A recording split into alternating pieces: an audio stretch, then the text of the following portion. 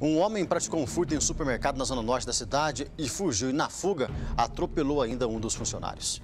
Câmeras de segurança aqui desse supermercado localizado na Avenida Samuel Kinde flagraram a ação de um homem ainda não identificado que acabou furtando algumas peças de carnes e outros objetos deste estabelecimento localizado aqui na Avenida Samuel Quinte. Detalhe, tinha um segurança aqui dentro do estabelecimento e foi de encontro até esse rapaz.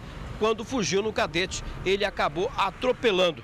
Vítima, o Antônio Donizete dos Santos, que sofreu ferimentos graves. Mesmo atropelando e furtando objetos, esse homem acabou desaparecendo a polícia investiga o caso. Nós recebemos de informação e que as imagens no, nos conferem é que o cidadão adentrou ao supermercado, é, colocou em seus bolsos várias quantidades de peças de carne, entre outros utensílios, e estava deslocando aí para fora do mesmo, né?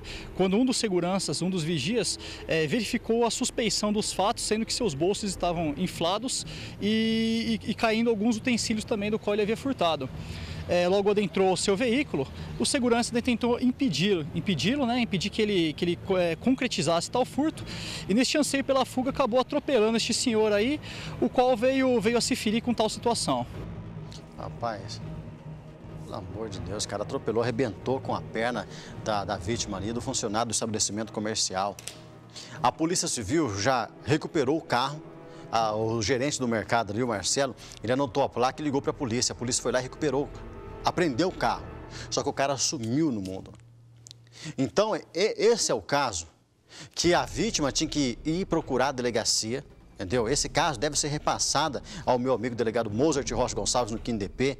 E olha, eu, vou, eu faço questão. À tarde eu vou ligar para o doutor para passar, para ver se esse caso já chegou para o doutor Mozart. Se não tiver chegado ainda, que às vezes, de, pelo fato do sistema, ele demora um pouco, eu vou passar para o doutor Mozart para ele pedir a prisão desse cara.